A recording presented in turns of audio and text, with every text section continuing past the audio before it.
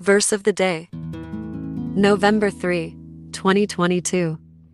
Be not rash with thy mouth, and let not thine heart be hasty to utter anything before God, for God is in heaven, and thou upon earth, therefore let thy words be few. Ecclesiastes chapter 5 verse 2. Inspiration We should not be quick to make vows to God, but if and when we make them, we should keep them. If we cannot keep them, we must plead with Him to forgive us and learn to not make foolish vows again in the future. It is better to open our mouths but little, to let our words be few, than to promise much and deliver not much. Let us pray.